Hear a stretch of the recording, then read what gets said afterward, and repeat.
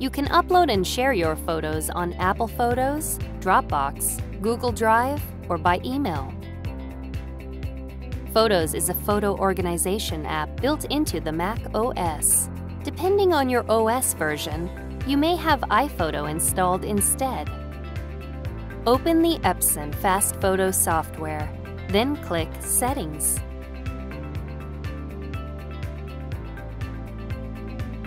On the Organization tab, select Save My Files to Photos and to a folder.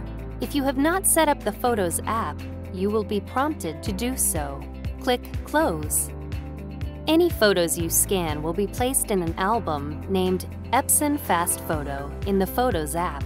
If you have already scanned photos into Epson FastFoto, you can import them into the Photos app using the Import option.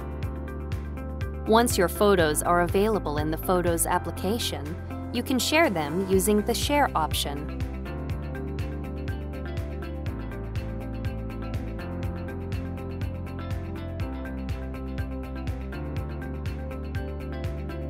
You can use the Epson FastFoto software to upload files to Dropbox or Google Drive. To use Dropbox, you must have a Dropbox account and the Dropbox app must be installed on your computer. The first time you select Google Drive, you will be prompted to log into your account. To set up Dropbox or Google Drive with Epson FastFoto, click the Settings icon and choose the Upload tab. Click on the cloud service you want and select your upload settings. You can select which types of photos to upload.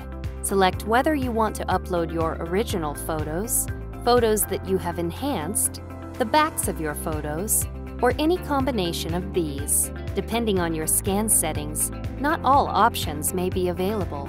Click OK when you are finished. If you see this screen, click Yes to upload any previously scanned photos. Once your photos are uploaded to Dropbox or Google Drive, you can share them with anyone who has access to the same account. You can also share your photos by attaching them to an email. You must have a default Mac email client configured in order to use this feature. In Epson FastFoto, select the photos you want to attach to the email. Click Share, then click the email icon. A new email window opens, and the photos are inserted into the body of the email. For more information on using your scanner, watch the other Epson FastFoto videos listed here.